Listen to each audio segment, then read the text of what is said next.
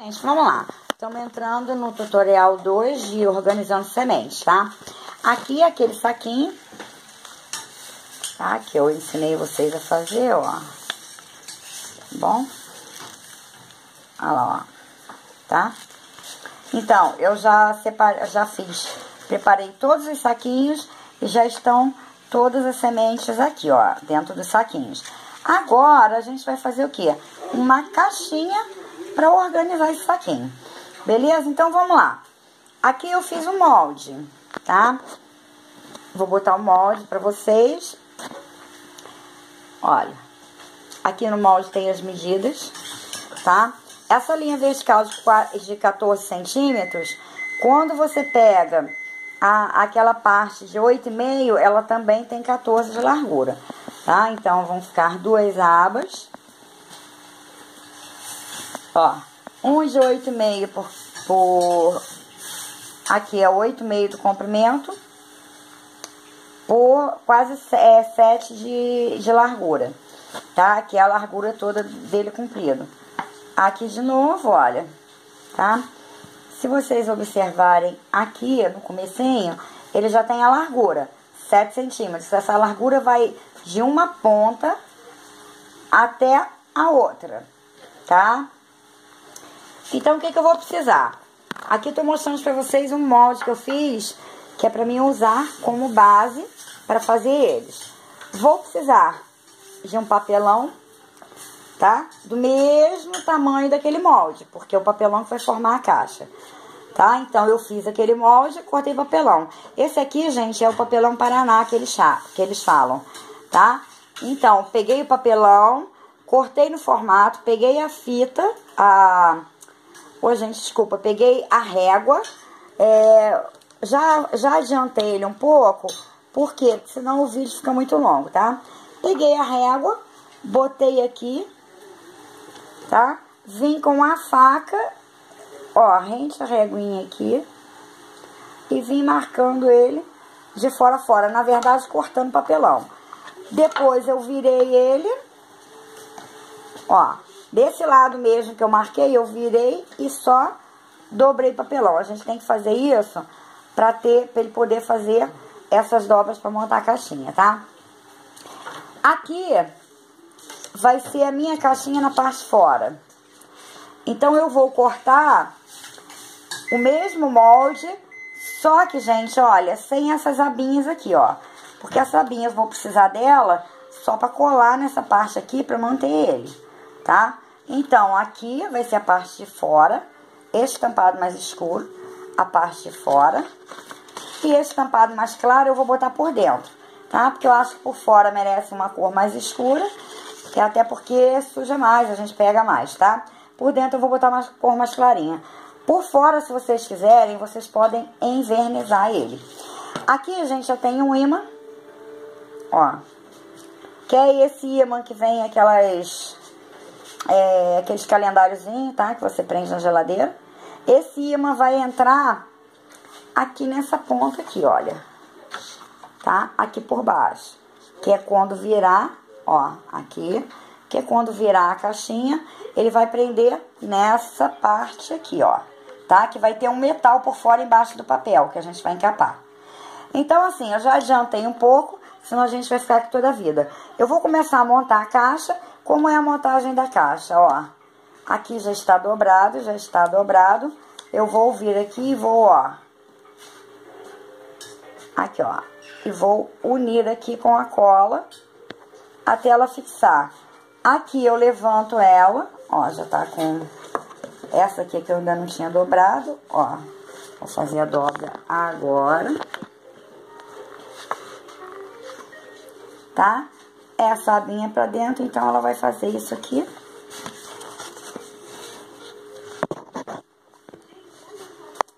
Ó, e vai ficar montadinha, tá? Então, eu vou colar ela e daqui a pouco eu volto com ela montada, tá? Colada, que demora um pouquinho até secar a cola. A caixinha, o resultado dela montada é esse aqui, tá?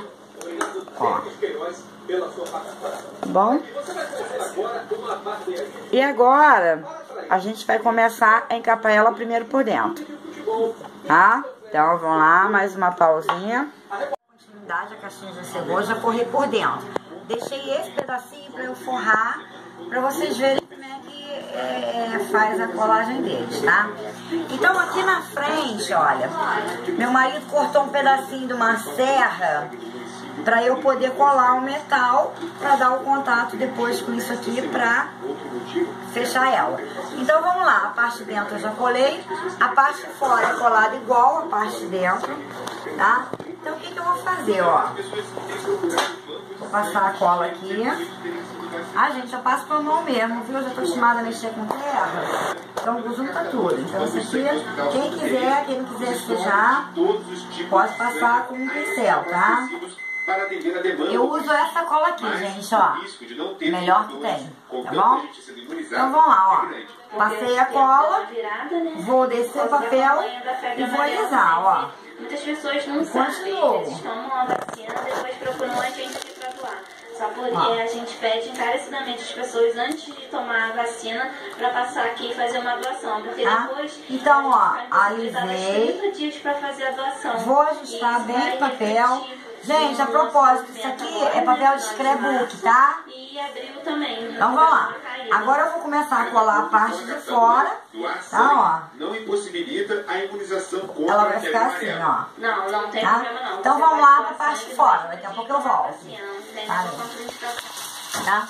Bom, gente, olha só, aqui eu já terminei de encapar por fora tá? Aqui essa parte a gente vai ter que fazer um acabamento aqui, porque como ela é inteira, não tem como eu recortar isso aqui. E aqui a gente tá pra parte final. Então eu vou, ó, fazer essa dobrinha aqui, que é o acabamento, tá? Ó.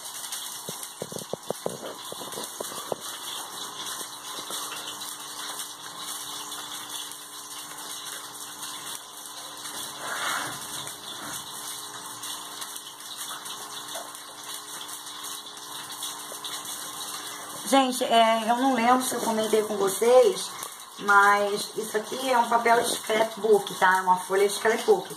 Mas vocês podem usar folha de presente ou qualquer outra folha que tiverem em mãos, tá? É, eu prefiro dar um acabamento assim diferente, mas aí vai de cada um, tá? Se quiserem também podem fazer os saquinhos do, do maior, Aqui eu tinha colado um, pedaço de serrinha do meu marido, né? Que eu não tinha outro metal, ele pegou um pedacinho de serra. Então eu encapei o papel por cima, tá? E aqui, quando eu terminar essa parte, eu vou botar aquele imã ali, tá? Então, ó, tô pegando a parte do lado, da lateral dele, ó.